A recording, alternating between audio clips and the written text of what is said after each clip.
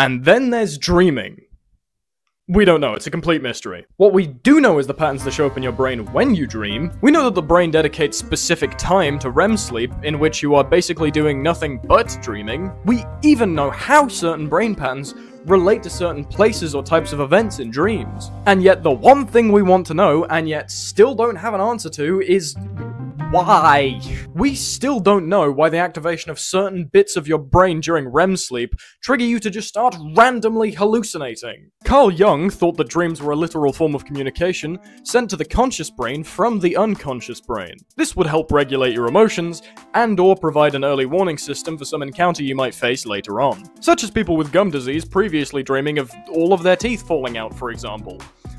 That's a that's a real thing, by the way, so remember to brush your teeth. Sigmund Freud thought that dreams were a map to the unconscious desires of the brain, and wish fulfillment for things that you couldn't do in the real world. But really, both Jung and Freud were both kind of just throwing stuff at the wall, because their theories persist today mostly on an anecdotal basis. What was this video about again?